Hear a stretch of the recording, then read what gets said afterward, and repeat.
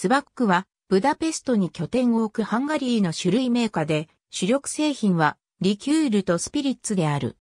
同社は40種類以上のハーブとスパイスからなる門外不出のレシピで作られるウニクムというハーブリキュールの製造元として有名で、ウニクムはハンガリーの国民的飲料の一つにまでなっている。同社はジョニー・ウォーカー、バヤリース、スミノフ、ヘネシー、ゴードンズなどの国際ブランドの販売代理店でもある。1993年からブダペスト証券取引所に上場している。同社によると、ウニクムは、ハプスブルク家の G であったツバック、ヨージェフ博士が、1790年に、時の皇帝ヨーゼフ2世のために作り出したものだという。1840年に、ツバック家は、ハンガリー発のリキュールメーカーである J、ツバックカンパニーを設立した。1900年代初頭には、ツバック社は中央でも最大級の蒸留所を要し、200種以上のリキュールやスピリッツを生産、輸出する大企業に成長した。第二次世界大戦でツバックの工場は被災し、生産停止に追い込まれた。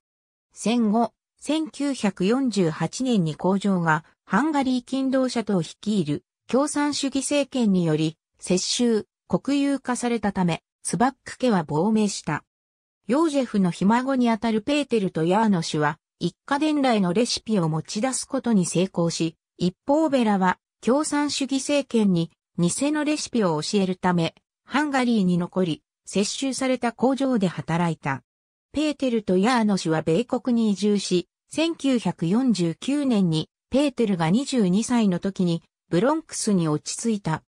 ペーテルは共産主義政権が崩壊するちょうど1年前の1988年にハンガリーに帰国して伝来のレシピによるウニクムの生産を再開し、1989年夏には国から経営権を買い戻すことに成功した。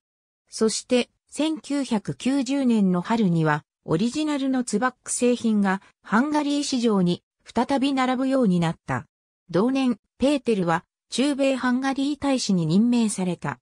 2008年、ペーテルは経営権を6代目にあたる子女のシャーンドルとイザベラに譲った。シャーンドルとイザベラが最初に取り組んだのは、米国市場への参入で、2013年にはウニクムとウニクムプラムを米国で発売した。ウニクムは40種類以上のハーブとスパイスをブレンドして作られる。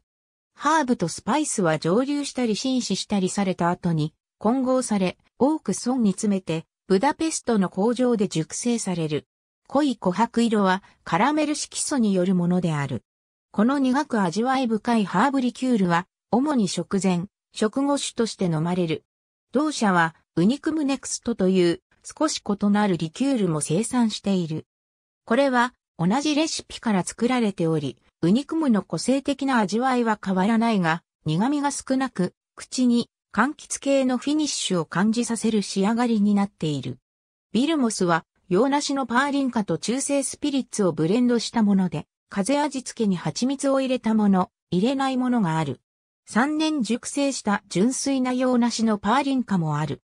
セントフーベルトゥスは伝統的なハーブリキュールで33種類のハーブから作ったアルコール度数33%のセントフーベルトゥス33が有名である。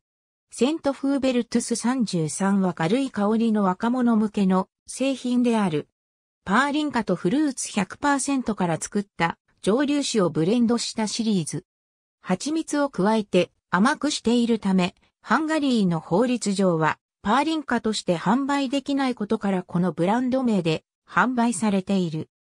パーリンカベースのリキュールでより軽く甘いのが特徴。